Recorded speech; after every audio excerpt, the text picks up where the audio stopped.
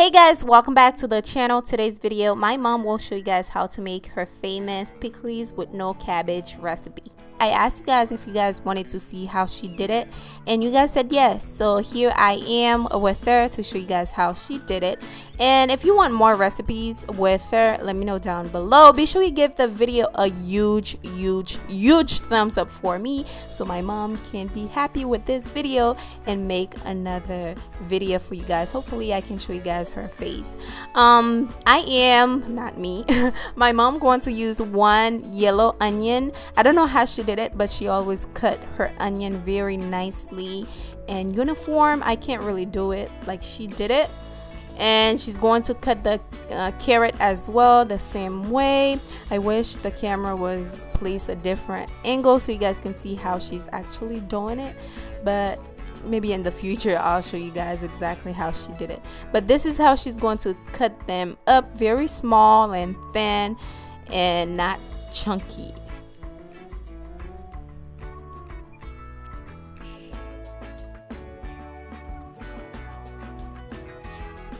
Next, she's going in with the red bell pepper. You can use green bell pepper as well.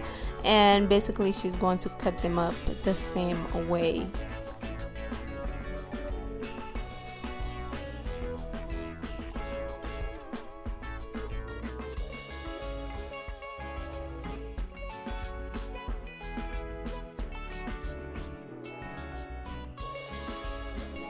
Next, she's using two whole lime, squeezing out the juice out of the lime, and then she's going to cut the scotch bonnet.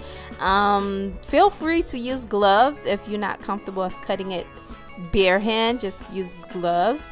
And now she's going to add half a Maggi cube. Maggi cube is optional. You can add your favorite seasoning in there like cajun seasoning salt pepper but she's going to add half a Maggi cube in there and a little bit of salt. Once you're done adding your salt use a fork to make sure you stir it together until your Maggi and the salt is well dissolved and then you're going to pour that mixture into your onion.